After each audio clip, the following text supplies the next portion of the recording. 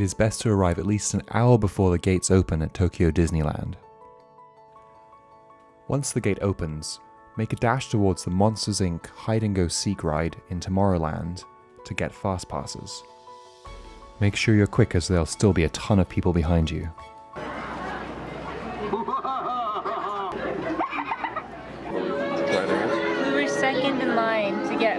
Get Pass tickets for Monsters Inc. And already you can see the times changing. Gotten seconds apart. Then make the mad dash over to Pooh's Honey Hunt in Fantasyland. This is an incredibly popular, charming trackless ride that is unique to Tokyo Disneyland. It is notorious for having some of the longest wait times, which is why we go on it first. There's no track on the ground.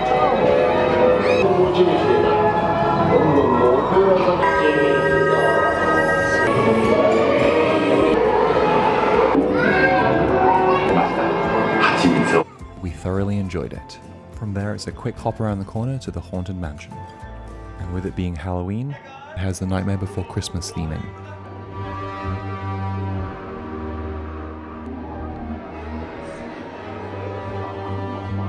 From there, head to Critter Country to go onto Splash Mountain. This can be ridden by using the single rider line. If you go in the fast pass lane and just say I want to ride a single rider, you will get on with almost no wait times.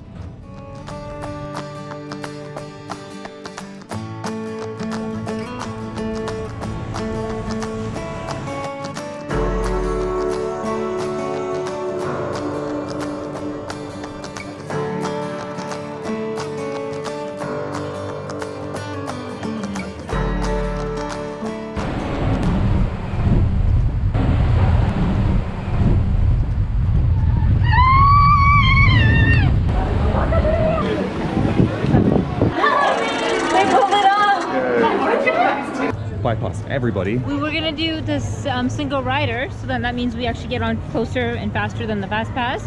And then the person that was going with Justin was actually going on as an individual, but had waited in line. So when she realized we were together, she's like, "Oh, let's switch." So we switched and went on together, like literally walked on. Yeah, amazing. And don't forget to get the photo to commemorate the experience.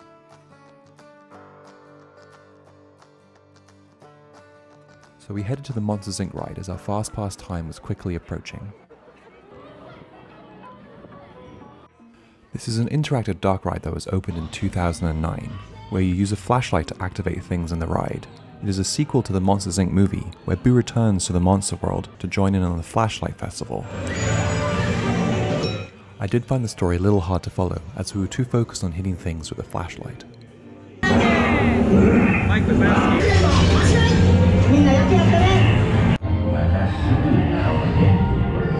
We then quickly picked up some fast passes to Space Mountain. One of the big differences in Tokyo Disneyland from all the others is the World Bazaar, which replaces Main Street USA. It is a huge covered structure that is great for hiding from the blistering sun or the pouring rain. It's a great place for shopping for all that Disney merch, and every so often they'll have a random celebration.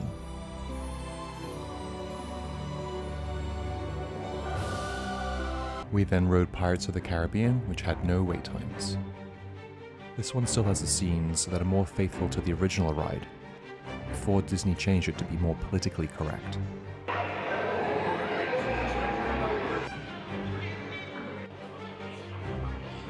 On to another Disney classic, The Jungle Cruise. It's a little harder to understand Japanese, but it's still fun to sail through the jungle, discovering all the creatures. Also, I believe the wall projections in the cave are unique to Tokyo Disney and make it come alive.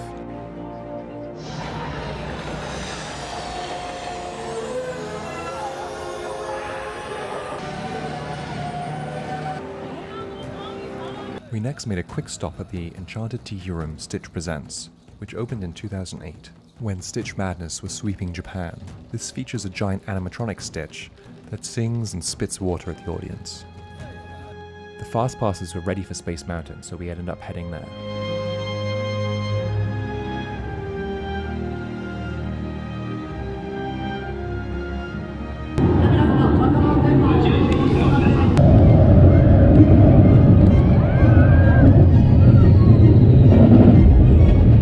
Typical of Space Mountain, it's hard to film, but so much fun to go on. It was not even lunchtime and we had already ridden most of the major rides, not including Big Thunder Mountain, which was under refurbishment at the time. We then checked out Toontown, which has a much more realized backdrop than the Anaheim version. We were going to get some snacks, but the lineup was even longer than some of the rides. We then had time to relax and take in Frontierland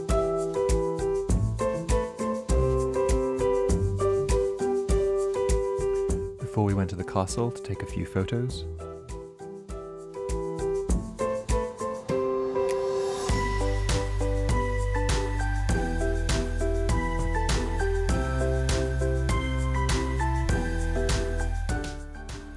Like Disney Sea, cosplaying is a huge part of the experience here, and many park guests will come dressed up as their favorite character.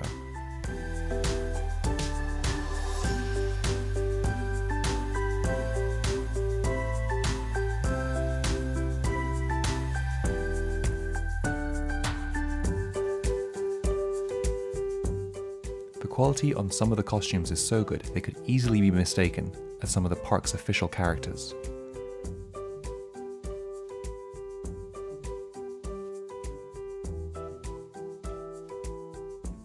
There was a character meet and greet at the front of the park near the entrance where many excited fans huddled around the park characters, waiting to talk to them.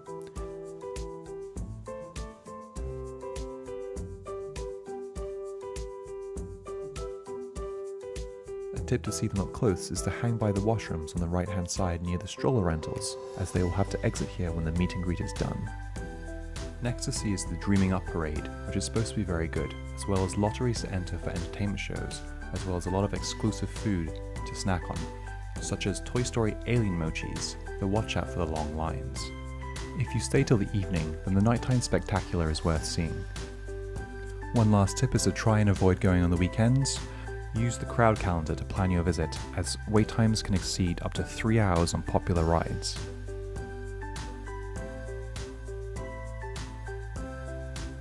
But waking up at 5am both days had left us exhausted, so we decided to call it a day and head back to Tokyo.